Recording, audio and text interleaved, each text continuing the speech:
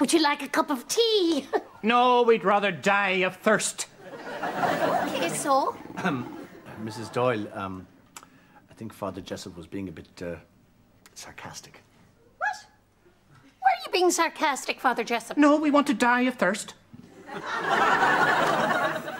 Mrs. Doyle, I know it's a bit confusing, but just do the opposite of what Father Jessup says. Okay.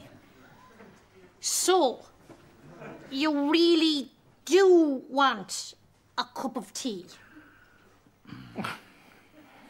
Yes.